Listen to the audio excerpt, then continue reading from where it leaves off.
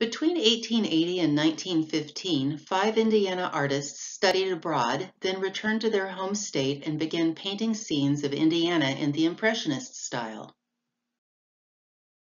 They were T.C. Steele,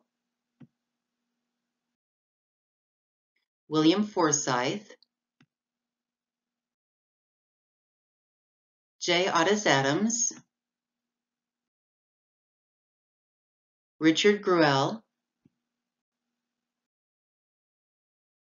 and Otto Stark. It was after a major exhibition in Chicago in 1895 that the Hoosier Group received national acclaim.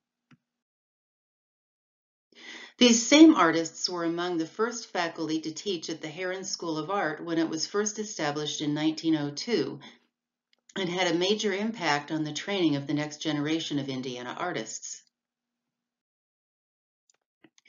Although the acclaim of these artists has faded compared to other American Impressionists, such as William Merritt Chase, an Indiana native who moved to New York, and Mary Cassatt, an American Impressionist who painted in France, their work is still highly collectible and is held in collections of a number of state and national museums.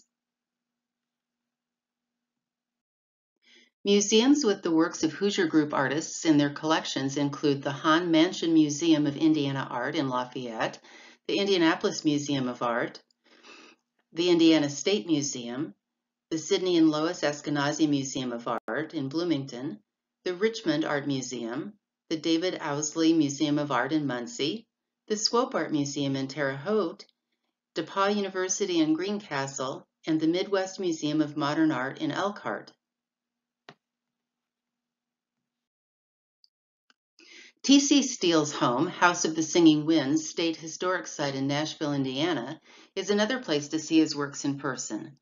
The House of the Singing Winds website has an extensive digital gallery of Steele's work and an article about the artist by Rachel Berenson Perry, the former fine arts curator of the Indiana State Museum. The best history source for information about the Hoosier Group is the Indiana Historical Society, the IHS blog on April 14, 2016 featured an article called The Hoosier Group that was concurrent with the History Center's exhibition Indiana Impressionists, The Art of T.C. Steele, which ran from April 21st to July 9th of that year.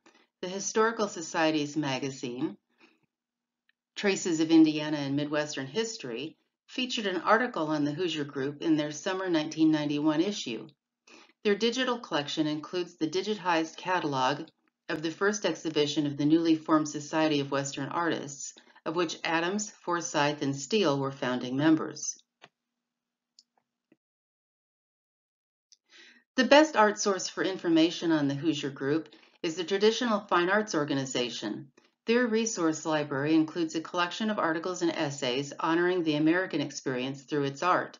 The site also includes articles on the art history of each state, and an encyclopedia of America's distinguished artists containing thousands of biographies of historic artists. Other good sources include the Google Arts and Culture uh, site, which has some information on the Hoosier School and on each of its members. ArtSmart Indiana, which features digitized works of all the Hoosier Group artists except Gruelle with information about each work and the Indiana Artists Digital Collection available through the IUPUI University Library, which contains digitized catalogs of many of the art exhibitions in which the Hoosier Group members participated. Several books also provide good information on the topic of the Hoosier Group, including The Hoosier Group, Five American Painters by Judith Vale Newton, The Best Years, Indiana Paintings of the Hoosier Group, 1880 to 1915, an exhibition catalog by the Indiana State Museum, and Paint and Canvas, A Life of T.C. Steele by Rachel Berenson Perry.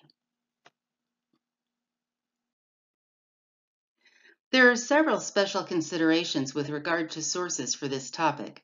Because many of the Hoosier Group paintings are held in private collections, it can be difficult for scholars to see the wide range of the artist's works. These primary sources are valuable, fragile antiques, so that collecting and transporting them to a central location for a major exhibition is challenging.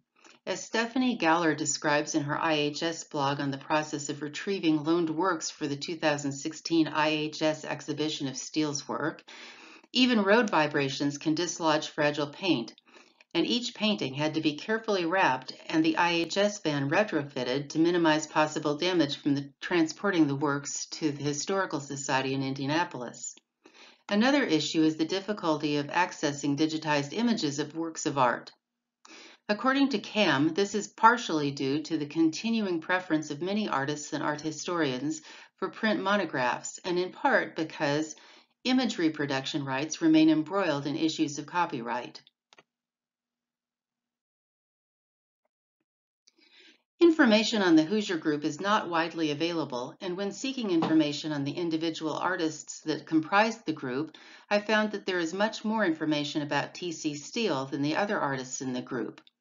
Although Steele was regarded as the group's spokesman during their active years, it would be interesting to explore what other factors led to his greater acclaim in our time when all the group members were highly regarded in their own time.